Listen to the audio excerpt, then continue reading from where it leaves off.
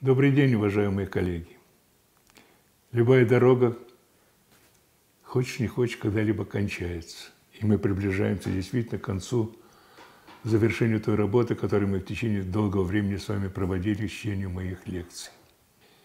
Я не отступлю от традиции, сложившейся за это время, и начну с того вопроса, который для меня сегодня представляется самым главным. Какой же вывод мы можем сделать из того, о чем мы говорили так долго, последовательно и поступательно значимо. Что произошло в нашем образовании, почему московское образование стало для меня, и не только для меня, а в реальной действительности столь значимо, и не только практически, но именно теоретически, что не менее, пусть меня практики простят, а более значимо, потому что только теория – позволяет распространять, использовать, повторять, воспроизводить. Без теоретического обоснования этого быть не может. Опыт, не получивший теоретического осмысления, изначально канет в лету.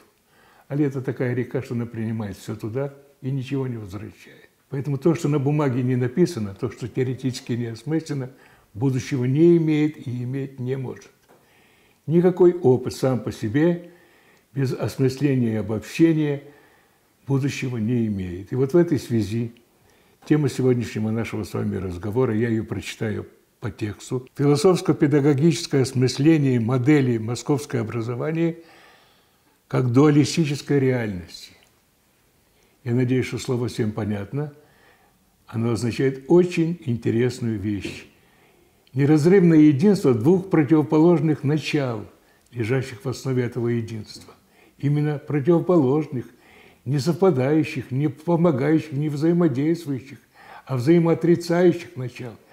Впервые в истории человечества образование становится дуалистичным, то есть в основе его будут лежать рациональные эмпирические вещи и чисто абстрактные, теоретические, виртуальные вещи. Впервые в истории человечества возникла удивительная вещь, когда философские положения – которые, казалось бы, противоречат здравому разуму, здравому смыслу, становятся основой бытия и социального, и педагогического.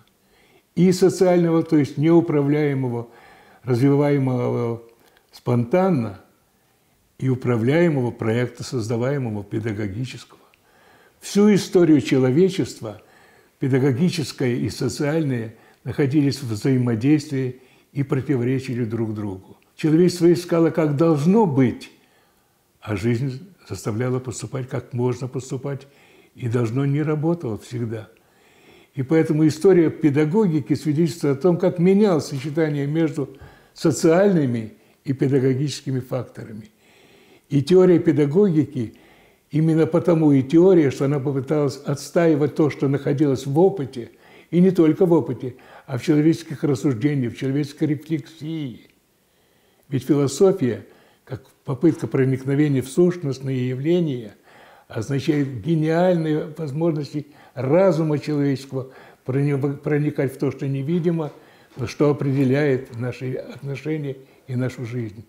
Ведь все родовые понятия, все категории – это несуществующие вещи. Родовых понятий в реальной действительности нет и быть не может. Нет мебели, нет понятия человек, нет понятия закономерность, то есть понятие это есть, а в реальной действительности ничего этого нету. Это создано разумом человека, который объединял какие-то явления совпадающие, разъединял явления, находил совпадающие между ними стороны, пытался понять, проникнуть в суть того, что происходит в реальной действительности, когда кажется, что это правильно, а на самом деле это глубоко неверно. И не случайно в юриспруденции родилась такая парадоксальная шутка «врет, как очевидец». Видеть и смотреть – это разные вещи. Слышать и слушать – это разные вещи. Проникать в текст, написанный на бумаге, это раз, знать теорию и, не уметь, и уметь решать задачу – это разные вещи. Быть теоретически подкованным – ведь мы же с вами не можем не знать, что огромное количество философов в реальной жизни было достаточно несчастливыми людьми потому что они зависели не только от себя, а от той женщины, от тех условий, в которые они попадали, от своей биографии, От очень многих вещей зависит реальный человек. И не случайно личная жизнь человека, ученого может быть одной, а результаты его исследовательской деятельности могут быть совершенно другими. И одной из ошибок, которые мы допускаем, это мы путаем моральные характеристики человека и его достижения в науке. Человек может быть и не очень моральным, а его достижения в науке могут быть очень значимыми. И мы знаем огромное количество не только физиков и химиков, но и педагогов, и философов, которые на словах теоретически представляли собой одно знание, а в реальной действительности были совершенно другими. И поэтому, когда мы сегодня требуем, чтобы писатель по своей биографии соответствовал тому, что он пишет, мы, конечно, хотим, чтобы так было, но это не всегда получается, потому что писатель – это человек, который пытается понять жизнь, понять других людей. И не только себя он описывает, он описывает свое понимание происходящего в реальной действительности. И отсюда и возникает необходимость осмыслить, что же собой представляет московское, московское образование как данность, что она привносит в жизнь, что она изменяет жизнь, каких изменений она от нас потребует. И поэтому следующая наша лекция как раз и будет то есть совокупностью задач, которые нам предстоит для того, чтобы окончательно завершить работу по доказательности состоятельности концепции московское образование. И вот в этой связи дуалистичность московского образования, состоящая из единства эмпирического и абстрактного, сознательного и абстрактного и виртуального, означает следующую вещь. Помните, в одной из самых лекций я говорил о том, что педагогика развивалась как создание сред, в которых формировалась определенная личность, которая, помимо замыслу авторов, создатели этой теории, должны были опережать время. Ну, например, Царскосельский лицей Пушкинский, когда создавался, он создавался специально для того, чтобы воспитать совершенно других людей, и это им удалось. Нью Ленарко Роберта Оуэна свидетельствует о том, что можно было в недрах капитализма создавать среду, которая позволяла локально решить какие-то вопросы. И педагогика в этом смысле может быть представлена тремя фамилиями. Фамилией Макаренко, о чем я с вами говорил, который создавал среду, воюющую с тем, что ее окружало, находящуюся в борьбе с тем, что не устраивало создающего, формирующего нового советского человека, способного идеалистическим целям своим посвятить себя романтическим устремлениям, видеть вот в этой романтической принадлежности смысл своего социального бытия, понимать, что сущность человека только состоит в том, чтобы он служил какой-то высокой цели, ради чего ты создан, ты зачем-то же пришел в эту жизнь. Но Макаренко велик не только этим, он еще показал, благодаря чему, при каких условиях такой человек может быть создан. Он создал впервые научную теорию воспитания. Но борьба – это не единственная возможность проявления педагогической среды.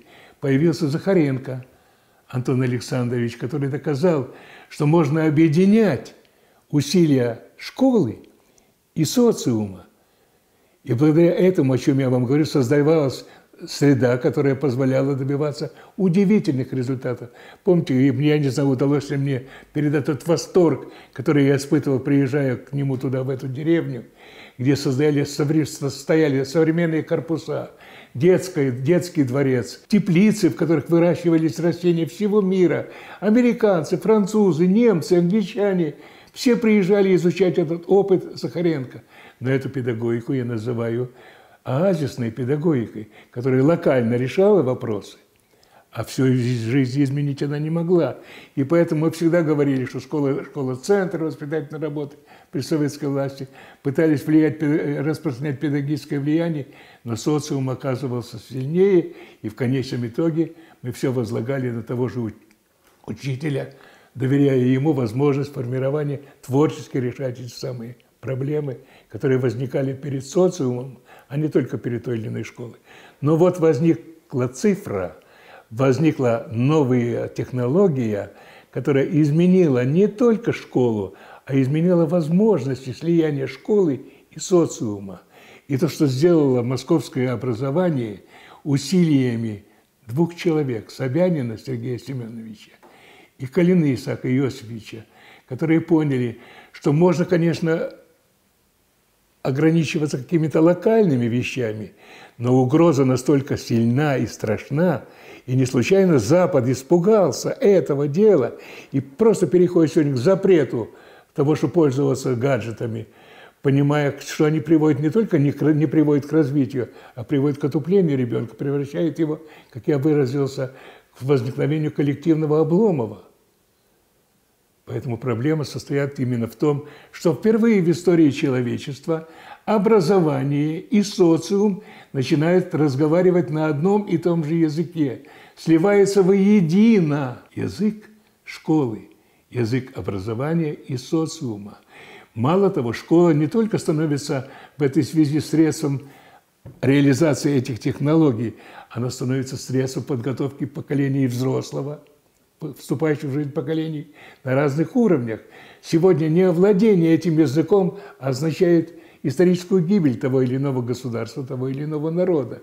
И вот в этой связи чрезвычайно важно, что московская, создаваемая практически опытным порядком модель, представляет собой на разных уровнях решения удивительно сложной проблемы – теоретическом, деятельностном, философском, педагогическом – Впервые это стало возможно именно потому, что московское образование сумело понять самое главное.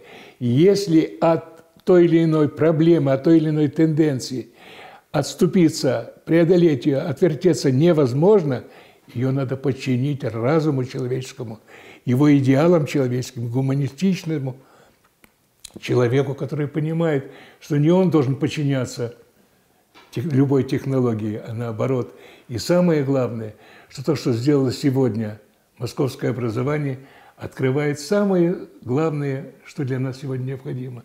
Мы говорим о том, что нам нужна, нужна стратегия. Да, и то, что сегодня сделано московское образование, является олицетворением не придуманной, не выдуманной, ни идеологии, ни стратегии, ни прогностическим вариантом, сценарием, а является отражением той реальной тенденции – от которой никуда не деться. И каким образом можно эту, как говорится, технологию не просто цифру, не просто использовать, а оседлать, используя как помощницу человеческому разуму, интеллекту человеческому. И мне неоднократно приходилось говорить, и я с удовлетворением повторю это еще раз, что образование с этих позиций перестает быть единственным средством подготовки ребенка к поступлению в ВУЗ и даже к овладению профессией. Хотя это тоже одна из чрезвычайно важных проблем. Самое главное, что несет в себе московское образование, это подготовку молодых поколений к сформированной их готовности использовать для своих, своего интеллектуального потенциала безграничные возможности технологии.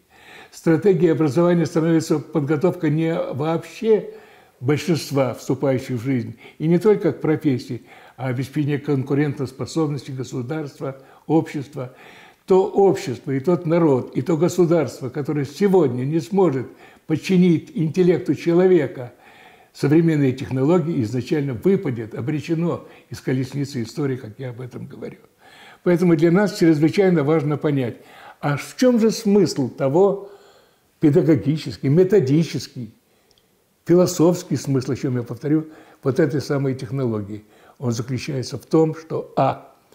Мы признаем, что разрыв между той философией, которая была, и философией образования, которая отражает особенности мира образования, перестает быть в виде того разрыва, который был. Сегодня для нас однозначно человек должен одновременно понимать, что все относительно – и в то же самое время все абсолютно в педагогике. Сегодня человек должен понимать, что все мы подвергаем сомнению, и в то же самое время у нашего человека не может не быть ценностей, которые никакому сомнению не подвергаются, ибо они определяют его предназначенность, личностную предназначенность в этой жизни. Сегодняшний ребенок, попадая в эту разорванную дуалистичную среду, должен понимать, что с одной стороны, когда он живет в реальной действительности, он подчиняется законам бытия, традициям, культуре, ценностям своего народа. А с другой стороны, он изначально не может не входить в тот и реальный мир, фантазии, которые позволяют ему думать, искать, находить новые решения, новые открытия. Без этого ничего не будет. И вот в этой связи для меня чрезвычайно важно, чтобы мы осознали, что московское образование привносит с собой, фактом своего существования, принципиальные изменения задач, которые стоят перед человечеством. Это задачи осмысления дуалистичной природы образования, признание, что единство эмпирического и абстрактного изначально должно подчиняться эмпирическому, лишая человека эмоций, возможности переживать и чувствовать, мы, по сути дела, пытаемся превратить его в робота, которому безразлично, чему служить, кому служить и что делать. Поэтому отсутствие понимания зависимости между эмпирическим и абстрактным, и виртуальным состоит именно в том, чтобы мы понимали – что необходимо обеспечить внутреннюю готовность ребенка к тому, чтобы он себя чувствовал и живым человеком, формируя его страстные отношения, личностные отношения к исследовательской деятельности, ее пониманию ее сути и его интеллектуальной способности проникнуть в это самое дело. И вот я хочу сказать в этой связи, что то, что происходит сегодня с московским образованием, и те задачи, которые возлагаются на концепцию, которую я разрабатываю, стали возможны. Почему? Потому что, с одной стороны, произошло то, что происходит. Реальные руководители и политические, и ведомственные руководители и образования, и города слились воедино, понимая, что эту тенденцию надо оседлать, но, с другой стороны, это стало и возможным концептуальное обоснование, потому что разработана теория прогнозирования, разработана теория диагностирования массового педагогического опыта, разработана теория целеполагания, разработано самое главное – совокупность условий, обеспечивающих переход, перевода внешних влияний, внешних знаний, существующих вне человека, принимаемые им внутренне. Вот эта готовность педагогического учета разных уровней восприятия научного знания – позволяет нам сегодня переводить то, что мы хотим, чтобы было усвоено ребенком, в то, что им будет усвоено. И поэтому сегодня вот это единство эмпирического и абстрактного представляет собой вот ту двойную природу бытия и интеллекта человека, и чувств его. И самое смешное, что мы должны сделать самое главное – превратить мысль в чувственное восприятие, а чувство в интеллектуальное.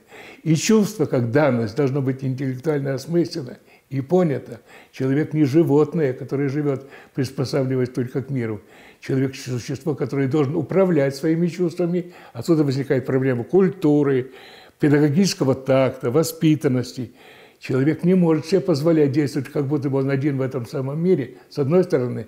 А с другой стороны, наука тоже должна понимать, что она не безгранична, она приносит относительное знание, а не абсолютное. И приносить в жертву знанию бытие народа – недопустимая вещь.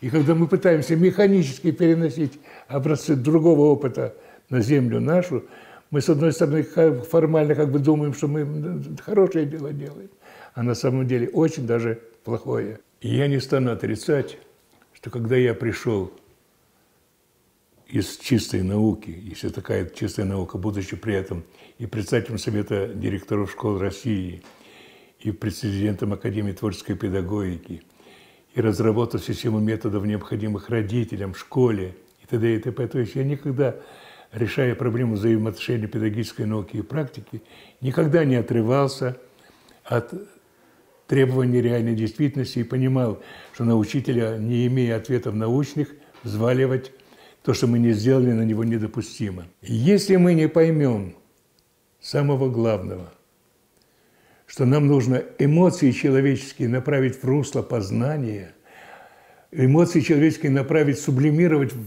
познавательную, в исследовательскую деятельность, мы не поймем вот чего.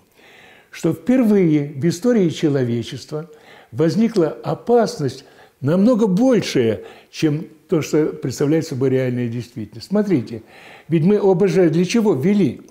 Мы ОБЖ ввели для того, чтобы обеспечить безопасность наших детей в реальных поступках. Через дорогу переходишь, встречаешься с разными явлениями. А вот дуалистичность образования заставляет нас понять совсем другое, что кроме иголки, с которой нужно научить обращаться ребенка, огня, спичек, с которыми нужно научить обращаться, газа, возникает, возникает цифра. А что это значит? Это значит, что возникает другой мир, в котором надо себя, который не менее страшен, а в тысячи раз страшнее любого социума, с его антюристами, с его мошенничеством, с его воровством, с его коррупцией. Мир якобы свободы, предоставляемый компьютером, это мир поведения человека, формирования ценностей человека. Я никогда не забуду, каким образом к нам приезжал очень богатый человек из Америки и говорил, вы знаете, мои дети – богатые люди, но я вам завидую, они не имеют образования, они только бизнесом занимаются. Так вот, уважаемые коллеги, сегодня образование – это средство подготовки к ребенка к вступлению вот в этот страшный мир виртуального бытия. И если мы этого не сделаем, если мы не найдем пути противоядия педагогического – мы просто-напросто потеряем поколение, вступающее в жизнь. Сегодня мы должны опережать, иммунитетно вырабатывая готовность встречи с тем миром, формируя очень простую вещь. Не любопытство, а познавательную активность. Не э, проникновение в то, что тебя эмоционально может интересовать, а каким образом готовить тебя к тому миру и к его отношениям. Поэтому мне думается – что проблема субъектности, и я хотел бы всемерно поддержать ту мысль, которую постоянно подчеркивает Исаак Йосифович Калина, что учиться значит учить себя. А для того, чтобы учить себя, ребенок должен быть научен нами. Для того, чтобы учить себя, ребенок должен изначально хотеть, понимать, что заключается в чем заключается смысл учить себя что принуждая себя, формируя свою волю, человек может испытывать самое высокое удовлетворение, но без образцов, которым ему хотелось бы следовать, ничего не будет. Нам надо создавать микрофильмы, любые фильмы, документальные, любые фильмы, развлекательные, которые бы готовили ребенка к тому, чтобы он понимал, что такое подростковый мир, что он вступит в него, какие опасности его там угрожают. И вот в этой связи для меня принципиально важно возвратить в понятие сенситивность, способность возраста воспринимать внешние влияния наилучшим образом не только в детство, но и в подростковый возраст, и в юношеский. Нам нельзя терять ни юношей, ни подростков в реальной действительности. А что значит их терять? Вот сегодня у нас, например, э, государство как бы вынуждено бороться с теми, кто привлекает детей к политической деятельности, кто вовлекает их в кружки какие-то, кто привлекает их. Почему? Да только потому, что государство в этом смысле не характеризует педагогическое понимание проблем. Ведь мы же с вами люди, мы должны понимать, что если мы не сформируем отношение к тому, что, с чем предстоит встреча, а оказ бросать ребенка в воду, не научив его плавать, бессмысленно. Значит, давайте понимать, что существует и сенситивная подростковая подготовленность, и юношеская. Мы должны понимать, что истории ничего не надо прятать, надо просто показывать, как трудна она, человеческая история.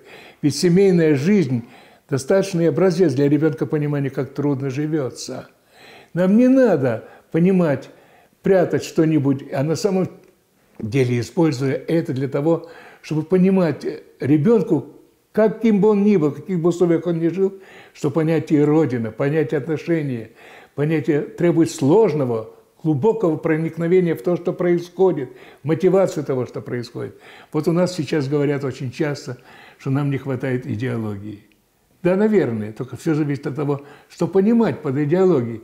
Если идеология – выдумка какого-нибудь графомана или человека, который влечен гипертрофирована какой-то идеей, это ничего не стоит. Идеология проистекает из бытия человеческого, из того, что зримо настолько убедительно, что никуда не деться. И вот в этом смысле я хотел бы сказать, что советскую власть погубила его идеология. Ее идеология. Почему погубила? А потому что она заставляла людей не творчески относиться к ней, понимая, что жизнь меняется, а идеологические каноны – становятся мертвыми. Ну, например, чтобы быть понятным, я был классным руководителем одной из московских, 19-й московской школы в седьмом классе. Прихожу на шестой урок, шестой урок, пять у них прошло, на шестой урок после 22-го съезда партии. И слышу, что они мне говорят, смеясь, а мы знаем, о чем вы нам, с нами будете разговаривать. Я говорю, о чем? Не понимаю, что они хотят сказать мне. А вы будете с нами говорить о 22-м съезде партии. Почему удивился я? А потому что до вас было пять учителей, и все пять говорили о 22-м съезде партии. То есть каждый из них хотел лучшего, а в результате добились худшего. Я никогда не забуду, как у нас на философском факультете преподавал марксизм-ленинизм, семинар вел человек, который требовал дословного повторения, не позволяя требуя заучивать на память фразы. Разве для думающего разума это возможно? Это нужно? Разве дело в увлечении повторения слов, а не той мысли, той сути, ради которой ты готов жизнь отдать? Поэтому сегодня перед нами стоит самая главная задача – понимание, что московское образование олицетворяет в себе и возможность стратегического развития отечественного образования, но только при одном условии. Если мы теоретически не только обоснуем значение того, что делается в московском образовании, но и процессуально раскроем, как на каждом этапе это должно практически реализоваться. И вот в этой связи принципиально изменяется значение адаптации и преемственности, взаимоотношений между эмпирическим уровнем, основанным на здравом смысле, и абстрактным, основанным на виртуальных закономерностях. Каким образом, как пересекаются эти явления, каким образом нужно готовить ребенка к встрече с тем виртуальным миром, с той виртуальной действительностью, с, тем, с теми знаками, и для того, чтобы, предположим, обеспечить пожилому человеку, ему можно пользоваться только самим пониманием, на какую кнопку нажимать, для чего-то. А для ученика нашей школы – для молодого ребенка этого явно недостаточно. С одной стороны, мы должны его учить жить в этой самой реальности, реализоваться в этой самой реальности, владеть всеми технологиями, понимая, что они должны служить твоему разуму. Ты должен в своей фантазии, в своем мире воображаемом, интеллектуальном создавать то, ради чего ты будешь их использовать. И вот в этой связи чрезвычайно важно то, о чем я говорил в одной из своих лекций. В проблеме взаимодействия педагогической науки и практики мне удалось доказать, что существует пять уровней готовности к восприятию научного знания, которые являются основой перевода того, что мы хотим, чего мы требуем от ребенка, в том, чтобы он сам для себя требовал. Для этого он должен отнестись адекватно к тому, что мы ему преподносим. Ведь сегодня, когда мы проводим открытые уроки, мы выясняем, что один понял одно, другой понял другое. Один захотел одного, другой захотел другого. Один увидел одно, другой захотел другого. То есть их какая-то внутренняя готовность к восприятию не зависит от нас. Как же можно сделать, чтобы при любом уровне готовности ребенок воспринимал адекватно то, что мы ему преподносим. И для этой связи я заявляю, что существует внутренняя информационная речь, которой владеет каждый ребенок каким-то количеством слов – смысл которых ему понятен. И если мы с вами это понимаем, то мы не можем не понимать роли русского языка, о чем я тоже не перестаю. Русский язык не является простым учебным предметом. Без русского языка не может быть ни химии, ни физики, ни географии, ни истории, ни литературы. Русский язык – это смысловая основа овладения тем или иным учебным предметом – и вот в этой связи, уважаемые коллеги, для нас принципиально важно понимать, что не связывая нового знания с понятиями, которыми ребенок уже владеет, мы обрекаем только то, его на то, что он будет либо понят, либо не будет понят. И поэтому очень мало мы чего достигли, используя теории развивающего обучения, потому что они исходили из роли знания самого. А знания должны быть восприняты ребенком адекватно. И поэтому связь между информационным уровнем и тезаурусным, понятийным – основа передачи внешних знаний, превращения их во внутренние. Я уже приводил этот пример, я приведу ее снова. Если мы с моей внучкой Ритой ходили в гости к бабушке по сказке «Красная шапочка». И переходили какие-нибудь ручейки. Я говорил, Риточка, а как нужно положить бревно? Вдоль ручейка или поперек? Она говорила, поперек, девушка. Я говорю, правильно, перпендикулярно. И через какое-то время для нее перпендикулярно и поперек становилось одно и то же. И не надо было объяснять, потому что как только мы начинаем объяснять, а объясняем и повторяя формулировку учебника, то одни понимают, а другие нет. На этом все кончается. Происходит разрыв между тем, что мы говорим и хотим, чтобы было воспринято, и тем, кто готов воспринять, а кто не готов воспринять. Поэтому проблема заключается именно в том, что второй уровень, перевод от информационного к тезаурусному, управляемого. Третий уровень – это методический. Педагогике не только важно, что мы делаем, но и как мы делаем. И если мы это понимаем, то методика должна быть возвращена к нам в реальную действительность. Но как, оказывается, если просто изучать опыт любого другого учителя, любого другого предметника, оказывается, не переносится просто опыт. Оказывается, существует набор условий, игнорирование которых не позволяет переносить. Я уже тоже говорил об этом, что когда мы ринулись изучать опыт народных учителей, лучших учителей, приезжая к себе домой, у нас не получалось. Почему? Потому что другие условия, другие ученики. Вам опытные учителя могут сказать, что даже а, ты, работая в разных классах, по-разному должен строить свои отношения. Один класс с, такой, с, такой уровень, с таким уровнем готовности, другой с другим уровнем готовности.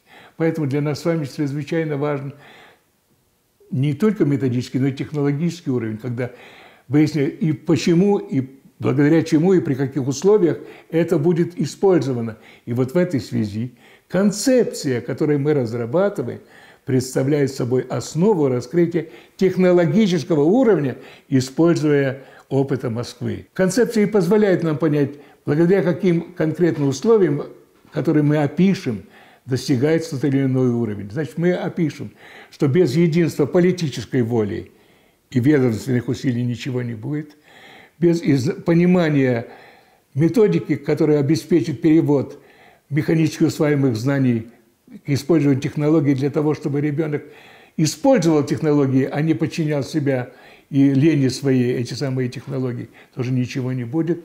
Без выявления уровня готовности к созданию такой среды, которая создана в Москве, ничего не будет без понимания, что изменяет содержание образования, где впервые в истории человечества город с его возможностями не просто представляет возможности использования того, чем он располагает, а включается в содержание образования.